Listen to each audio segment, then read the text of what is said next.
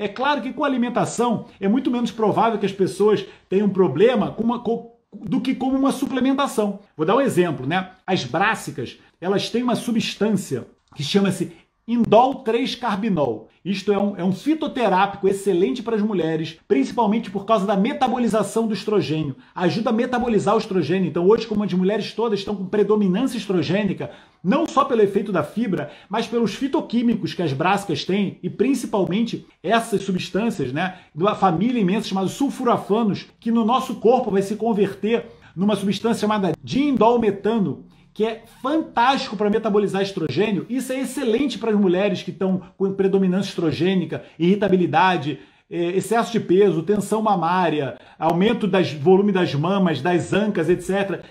Drenar melhor o estrogênio. A, a brasca tem essa substância. Mas você comendo brascas, você não vai ter uma intoxicação por essa substância acabar drenando demais o estrogênio. Mas, se você tomar suplementos de DIN, você tem que ter cuidado.